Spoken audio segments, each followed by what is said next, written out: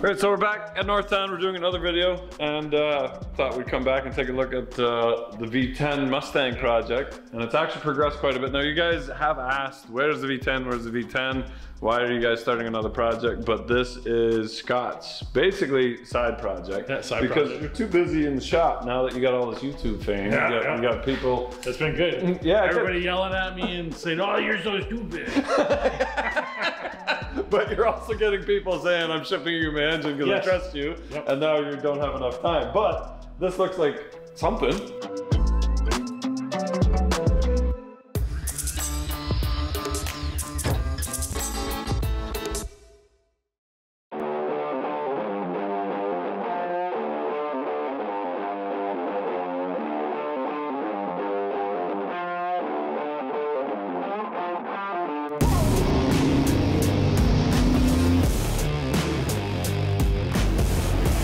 So if you guys remember our Mustang, it was an 05 that had a 2017 Ford Racing brand new 5.0 Coyote installed in it, but then the project was abandoned when we got it. We bought it specifically for this engine and always wanted to pull this out and put it into the Bronco. But Scott, our engine builder, fell in love with the car, so we worked together with him and a colleague of his, and we ended up painting the car and driving it around as is until the Bronco was ready.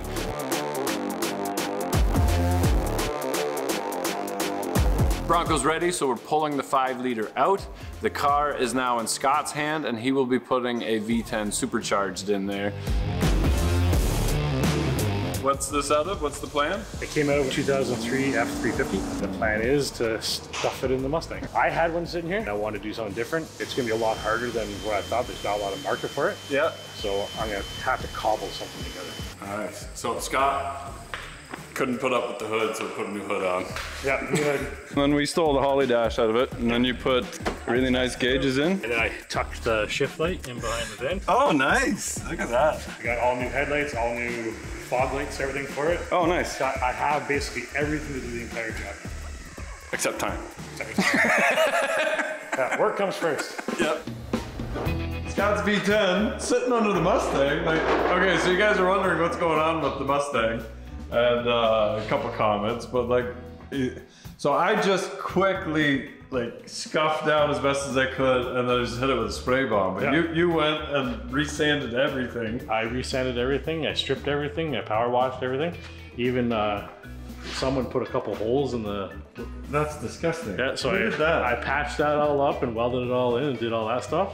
so, so- when I started building the car, I had I had zero like Love for the car. love for the car. Yeah, yeah, that was yeah, the yeah. problem. So I needed access for my wiring harness. I just took a big drill, I saw holes, I saw it. Put a grommet. I put a grommet in there. But, I just yeah. thought it was a really like hungry mouse because it really looked like it was a chewed out piece of. I think. Oh, I remember that because it was awkward and it might have been a Oh, couple holes. it was definitely and- awkward. Yeah, yeah, yeah. yeah.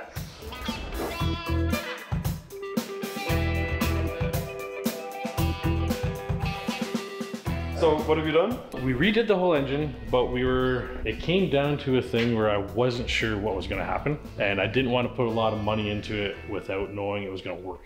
Okay. Especially with the harness and stuff. Now there is those guys online that are doing that V10 build right now. Do it yourself, I think it's called. Okay. And they're doing a V10 with dual overhead cam, completely different. And they said they're gonna do 7,000 RPM. But the money they dumped into that, I don't have that kind of money. Yeah, yeah. So my concern was the harness. So this is an 04 block, um, but in 04, uh, computer isn't. It, you can't modify the computer. There are a couple guys out there that will do just the chips and put it into the computer, but that's not what I want to do. So I went and got an 07 harness with an 07 computer. Uh, worked with Brad, and we got the harness actually or the computer fired up. We know it works, but we don't know if we can tune it. I think Holley does have an option where they can add more coil packs. It gives you the option to have a V10 in there. Yep. So I'm pretty sure Holley has the capability too. But before you get that far, you got to make sure it fits inside the car, right? Yep. And that's kind of where you're at. Yeah, so the engine itself is uh, almost a one inch or just over a one inch taller deck height. Okay, so, So- meaning that it's out an inch farther this Yes. way. So when it goes out an inch higher, it, the V is getting wider. So these cars come factory with a um, 4.6. The GT500s have the 5.4. Then you get into the Boss, which has the 5.2s. Then they get so the platform is all the same, but none of them have as tall of a deck as this thing does. Okay. Um, I don't know if anybody. I've tried looking on YouTube to see if anybody else has done it. I have seen one guy that has done it in a Capri, uh, very similar frame rails and stuff, um, but I haven't seen it, so I don't know. I don't see why when we measure it on a tape measure, it works. Okay. Um, so what we started off by doing is when it was a bare block, we put that block and a five liter together, and I took a set of BMR mounts and modified the mounts to make the exact same height. So we're going to be pushing the engine forward instead of backwards, because I don't want to lose any anything. I want to keep everything stock. So I want to use all the heater coil, everything. You're yeah. So the block itself is only about four and a quarter inches longer than a five liter, which really is not very much. No. So in theory, I shouldn't have to change anything. Everything should go in. It should just bolted. So, so we're getting ready to we're getting ready to do a drop in. So these BMR mounts off are, are, are off of four six. Um, yes, both are off a five liter, Oh. but the four, six, and five liters are all the same. Yeah, the bell housings are all the same. Flywheels are all the same. Engine mounts are all the same. Everything. Is the Okay. So so new BMR mounts. This is the the same old subframe, but it's painted pretty now. same. Hot tanked it. Okay. Now, I was gonna go to a BMR K member, Yep. but I didn't want to invest that kind of money yet until I know I could get this in there. Okay. Hi, like hindsight, I should have done it uh, because if the V10 doesn't fit, you know what's going in. Five liter. no. so Five liter LS. Yeah. Did they make a five? so I I built the the block all with our ARP everything. Um, oh, so all the internals are all. all you already rebuilt done, the whole engine. but not forged yet. Oh, okay. I would like to get the engine in, get it running. Now Comp did come through and got us some cams, custom grind cams. Yep. So what the plan is is I'm gonna get it into it, get it running, and when it runs, that way I don't have to mess with tune. Once it runs, I'll pull the front cover off, change the cams out, and then uh, if Holley comes through, then that's a completely different world too. Oh, okay. And this is the original. Was the Yeah, five speed or it's six not- speed? It's the six speed. It's the Getrag MT82, which is not a fan favorite transmission. People don't like them. Okay. There is a few guys online that are putting some massive power into it, but they have to be built. Okay. Um, but right now, this engine will only put out 360 horse. Well, I've I've decked the block, decked the heads, everything. So it might get a little bit more, but we're not. I'm not really looking for any crazy horsepower. But 360 horse, but it's also going to be maybe four and a quarter foot pounds. yeah. Which, if you compare that to a five liter, we're in the five liter foot pound But at a lower RPM. at lower RPM, a lot lower RPM. Yes. So really, I don't know what to expect. I'm just gonna do it now. The guys that do run these in trucks, You expect. yeah. the guys that run these in the trucks, most of the guys that have them love them. Okay. So and they, everybody says they're just torque monsters. Okay. So we'll see what the torque now. The rear end is built for it. It's got the 410s of the Posi now. Um, so everything in the rear end should handle it. All the suspensions should, ha- should handle it. Okay. So So, the weak, would you would you do back here? um, all this- sus- all suspension. Um, the rear end has been fully done. Now it has a set of 410 gears with full Posi. Okay. Um, What was the gear ratio before? uh, 373s. Yeah. Okay. Um, Oh, it's so an 8.8. It came. It did have an 8.8 in it originally, Yep. but I've done all the BMR mounts, uh, trailing arms, panhard bar, uh, even up into the upper control arms and stuff. Uh, yeah, I did basically everything on the rear end. Yeah. It looks good. So Um, but you still have those cheap Chinese shocks. yeah, hey, they worked last time. Yeah. Yeah, I didn't. I didn't mind them. They're okay. and it's funny because I actually enjoyed the ride in it, the hard, stiff ride, Okay. and uh, it's that's the car was. I want the car to be built like that. Okay. So And then it had a bunch of spacers in it for some reason yeah, to bring the wheels out. um, to bring the wheels out only because that the bracket. Now I I- I think you just copied whatever whoever had. I whatever was on it, I put the brakes on properly so they worked. yeah. I left it they, at that. they had the proper mount, but they had the mounts on the outside of the axle where it wasn't supposed to go. And in, no, in order for the caliper to line up, they spaced the wheel out so the caliper lined up on the brake. So I'm Oh not. jeez. I'm I didn't even notice that. No. So they had two plates on each side, two quarter inch plates. So that the bracket on the outside. Which is why they had the brakes on upside bolts. down. Yeah, They yeah. had bolts out to here. Yeah. So that's why they have bolts because they had to make up for the half inch of space that they lost, right? So now, Tire was so I get rid of the spacers. I got the new bolts, so the bolts will be sunken inside the rim better. So I can get nice fancy lug nuts. Yep. And the caliper, everything lines up properly now, and the tires aren't sitting out, which is kind of I think right from the beginning I, I had an issue with it. Not a big fan of that, but now it tucks right inside. Nice, so you can lower it. Yeah. Or if it hits a bump, it doesn't cut into the tire. Which, Or into the fender. which what the problem was. Yeah, no, that's awesome. So, and then yeah, gas tank. I, I outfitted it with a pump that will handle a thousand horse just in case we do decide to go. Just in case. Just in case I want to triple it, you know. once, once we're we're debating, we're in the we're in discussion of whether to go supercharger or turbos. Technically, it is knockoff of a four six. Yes. So they do offer a lot of four six headers and different stuff for the four six. And turbo wise. Like, I haven't looked at turbo wise because Oh, okay. that's kind of my goal is to get it up, get it in, Yeah. running and driving first. yes. and then I still have some wiring uh, gremlins inside I gotta figure out. Uh, but do that first. I'm gonna use the stock cast iron manifolds for now. Okay. If we do do supercharger, um, I'm gonna retrofit the 8V. It's 16V Yeah, 16V so it has two blowers on it. So you are fi- like we dropped one of those blowers off. You what was that? Six, seven years six ago. years ago, seven. That's awesome, and you're you're gonna retrofit that. If Holley can run a V10 system, and I got to double check with them because they don't have a stock harness that has five coil plugs on on each side. If they can do that, then we can talk about power adders. If not, you're stuck with a stock harness. Well, that's and, and, with the and stock harness, we don't know if it will give us the parameters to up the fuel injection. to tune Um, it. Yes. So we know that, like for 04, they had injectors that can, I think they were 22 pound injectors. Now when they go to the 07, there was a higher pounded injectors. Okay. But those injectors are the same as a uh, 4.6 uh, injector Okay. or a 5.4. Yeah. So we can use injectors. We just don't know if the actual factory computer um, can be modified or increase those tables. yeah. So the only real other option is a standalone system, which uh, quite honestly I don't want to put the money into to to do. Like you're getting Yeah, up so- into the thirty five so- or forty five hundred dollar computer system, right? Right. So make sure that everything runs and fits and Yeah. doesn't overheat like crazy with Yeah. whatever add, and So I then still and want to run heater core. Yeah. Um, so the next thing will be the intake. The intake is a um, kind of going to be complicated depending which way we go to. But um, what my thought was is to get a, a couple cheap four six fabricated intakes, Mm-hmm. cut two cylinders off, add three cylinders to it, and just make it work, right? Yeah, yeah, yeah. Or if we do supercharger, then that's the Yeah.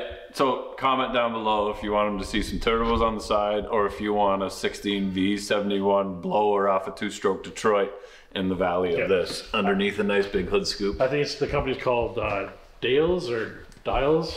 Um, they do a whole bunch of supercharger stuff, and they, Okay. have, they have a complete uh, front rear snout kit Oh, for the supercharger that I could literally just bolt right on. Nice. And we just have to modify an intake. yeah, Um, the supercharger would be good because it's it's a lower RPM engine. yeah. We already ported the heads and did a Aaron did a crazy valve job on it for me. Um, ported the exhaust and the intake side of it and port matched. We still have a lot more we can go, but again, I didn't want to put a lot of effort into something that we don't know what's going to happen. Right, right. So I have absolutely no problem getting it in, get it running, get it driving, and then that's the hard part. yeah, Then after yeah. that, just add now, yeah. Just keep, yeah, pile on top. just, just keep adding. Keep adding. So then we don't know how high it'll stick out of the hood. So I don't know what I have three hoods just in case. So it's everything from that point. Yeah, you had my original one. You bought one, Yeah. and and the one that we picked up that we should have never fixed. Yeah, fixed. I'll probably not use that one, but It cut a big hole in it and then put a nice uh, scoop do on that. it or whatever. Yeah, yeah. um, but yeah. Other than that, everything's coming together. Nice. Awesome. Should we drop the car down, see if it'll fit? Uh, we can try. I don't think that, I don't know how far the car will get down, and we're gonna have to really like grab the. Yeah, yeah. Well, we're all here. We got an yeah. extra hand. Let's do Move it it. Yeah. put this on so that it lines up, but I think as, as long as we don't scratch anything. Hey, it's on you. Go up. Go up. Ready? Yeah. We're ready.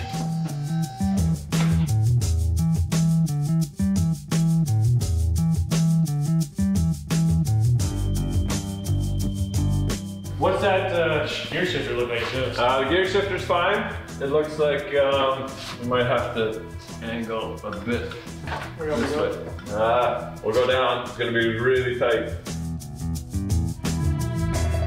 Keep going. Ready? Yep. Yeah, we're If. I have to take those heads off and put them on after, I'm gonna cry.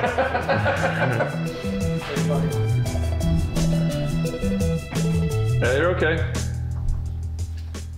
Yeah, you're good. No, it's gonna work. It's gonna work. Oh, this is exciting. How is it at the back? Is that transmission lined up? Yeah, transmission. I think the transmission's about to poke through the Car. the car. Yeah, like the whole spot where it's supposed to go. Okay. Yeah, we're good. We got lots of room. These bolts right here. Well, it looks like it's almost right on line too. It's gonna have to go back a little bit. These two bolts have to go through the K member right there. So it's gonna end up getting pushed back a bit.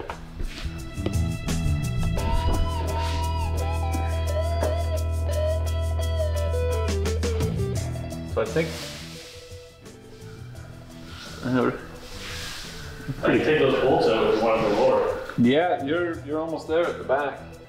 Oh, oh. We got, I can pull the bolts out. Yeah, pull the bolts up. No. Like you can bolt it in there. Oop. That's tricky. Both of you doing it at the same time. Like, what's going on? I saw it too. It might. It should fit with the covers on. Just that little hump there. Maybe four inches for these to sit down on the Yeah. top, and that's yeah, it. you're there. It's not going to be too high at all. Technically, it was. It's pretty much a four six. It's a good drinking game. Every time we say it's pretty well a force. Is the transmission okay? It's going through the center. Yeah. It, it's going through the hole. Yeah. Well, it's just on top of the K member. That's as far as we can go for now. it's in there though. I can push his engine back. Well, you got to move the engine back according to this bracket. I don't know. We got to go forward. No, it's got to go back to line up with the. Oh, I got to. Then I have to go back like two inches. Yeah, so that'd be perfect. Yeah.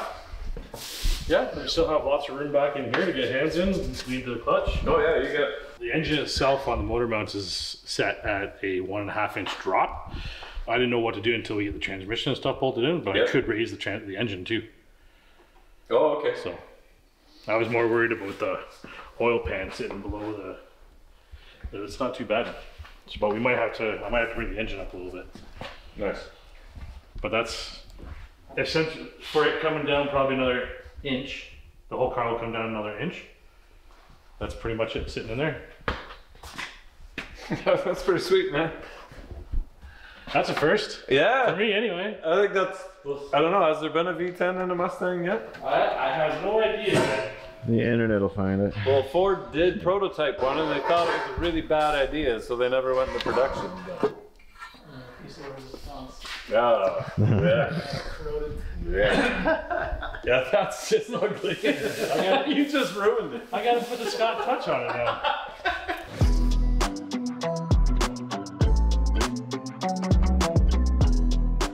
So you would leave that manifold alone if you went with turbos? Um, what I would probably do is I'd probably go to a 4.6 fabricated intake. And then, And what I, if if I if I was going to do it and I was going to go turbos, then I probably would probably throw the turbos up in the corners up here, okay. go fabricated intake, and then buy two intakes, and then cut and splice them together. Yeah. Fabricate it, but then that will put you on a front mounted um, throttle body, Mm-hmm. and then but that would mean I'd have to relocate the alternator, which I'm still kind of working on. Relo- I might relocate it anyway, but at Is least there, is there relocate for a 4.6? So It's basically Yes. 4.6. Yeah. So the the um, You're not rich as the power steering pump is the same. The AC is the same. Alternator is the same. Okay. Starter is the same. Starter is the same as a five liter also. Um, all the parts are interchangeable. Right on. So I think that's ugly as shit though, that intake. yeah, well, it's just halfway being sandblasted. So Even still, it's just ugly. It's just like a, I don't know. It's a big ugly spider sitting on top of your engine. yeah, It's- that'll be the next stage of what to figure out. blower. But I would still have to have some type of intake. Temporarily. Yeah. So so run this temporarily, but Yeah. fully knowing that it's ugly and that you're gonna get rid of it and Yes. put a nice big giant blower on there. Honestly, a blower is, is much simpler in this instance for sure. Well, the rad should sit about here. Mm-hmm. We technically should have enough room for all my control, like all my accessories and stuff. Yeah, yeah. So on Yeah, you're going electric back fans- another two inches, so Yeah. you got lots of room. So it should. Uh, this is your the first site for you. I'm excited. This is awesome. And then uh, yeah, I just really want to like run the electrical really nice, run the battery really nice, and do everything Yeah, yeah, nice. yeah. I gotta get on the Bronco because it'd be bad if you got this thing running before I got the Bronco. running. Isn't the Bronco done? Well, the Bronco's like looks done, but I have to wire it and Oh, really? film it yet. Yeah, yeah. Like as far as a Holley kit, how hard would it be to wire this thing up? Uh, about three hours. Like, Like ready to start. Yeah, yeah. It took me to redo the five liter. It was about three hours. I pulled the I pulled the Ford performance stuff off, and I had it going in about three hours. And it's the exact same kit plus whatever time it takes to plug in two more coils and spark plugs. I have a full manual brake system to go on. I still have all the cleaning I can do. I have all brand new upper con- or brand new lower control arms. I gotta do wheel bearings, ball joints. I have uh, a bump steer kit. I have a full BMR rad support kit. I got a five liter rad with with uh, fan and everything. So I have everything to go. Then next will be power steering. Getting the proper power steering bracket. The Yeah. pump I already have the pump. So we're, we're close. Nice. And Right for 45 minutes a day, it's getting there. Yeah, yeah, yeah. The, the frustrating part is the lack of help. Um, I, I, don't know if I can say it or not, but like Ford Performance. So when you got the car, it came with a legit Ford Performance kit. Yes. I know when we talked about it, you thought it was just a knockoff kit or whatever, but no, it's a straight up GT350 kit um, that you can buy. Talking about the brakes. brakes, Yes. the whole brake system.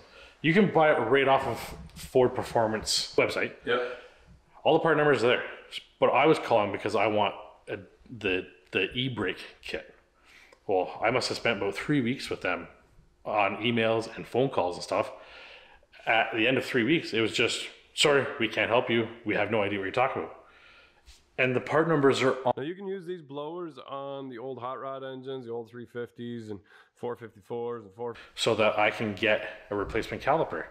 But even to the point of calling a Ford dealership and going through a GT350, well, I'm not 100% into buy a $600 e-brake caliper. I, I wasn't prepared to do that. Mm-hmm. But no one's willing to help. The, To, to the- make sure, yes, that is the one yeah, you need. even me supplying the part numbers, not willing to help, not willing to say, yeah, you know what, this that'll work. Okay. So that's where it gets really, really frustrating, and that was the main thing. If that was the main reason why I got this car frame, basically, because the look of the car and the brakes make the look of the car. Yeah, yeah. And to have, I didn't want to put anything else on, so now I end up having to go to looking at like an electric brake.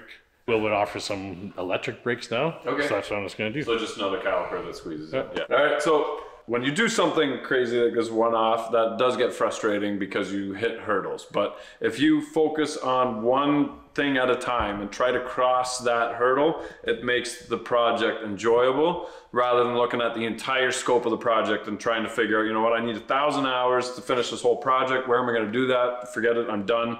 I'm going to list it for sale. My loss, your gain. Um, we, we hate seeing that, but if you look at it as, okay, I just need to get these breaks figured out, and, and you know what, I, just need to find a couple hours to make some phone calls and emails and whatever. And even if it doesn't doesn't lead to anything, you're smarter than you were before you started. Yeah. But um, on, on that note, we also have a Facebook group that you can ask questions on. Now, this is again is a one-off type stuff, but we have a very knowledgeable group of thousands of people that are willing to help and might have actually been there before. So if you haven't joined the Facebook group, definitely join that. Um, and um, really just try to find some time. You do 45 minutes every day. You go to work every 45 whenever. minutes to an hour. every Yeah. day. I try to get between five and five thirty. Okay. Come out here till six thirty. Yeah. And then uh, start my day for work between six thirty and seven. Okay. So as you guys can see, there's a pile of project, progress that's been done. Um, I live 40 minutes away from the shop, so it's not that I can drive to Scott and help him. and it's awkward for making videos because it is only 40 minutes at a time. But you can see the progress has been done. It's not abandoned. It's gonna happen.